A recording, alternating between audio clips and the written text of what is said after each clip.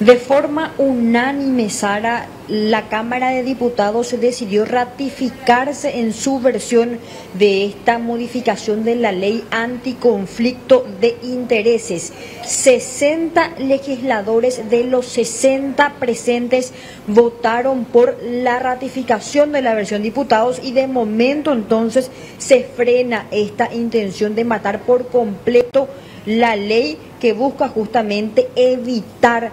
que los legisladores y otras autoridades tomen decisiones para beneficiar a su círculo más cercano, en este caso sus familiares. Lo que queda entonces por ahora dentro de este proyecto de ley es la parte en la que se reduce el control que deben hacer respecto a las declaraciones que ellos también están obligados a presentar y que solamente afecta, de acuerdo a la modificación de la Cámara de Diputados, a la pareja de la autoridad o del legislador y también de sus hijos mayores de edad. Eso es lo que se mantiene de momento, pero recordemos que esto tiene que pasar todavía a la Cámara de Senadores que finalmente tiene la última palabra por ser la Cámara revisora, lo que significa que si es que la Cámara de Senadores se ratifica en su versión de este proyecto con más de 23 votos, de todas maneras se va a mutilar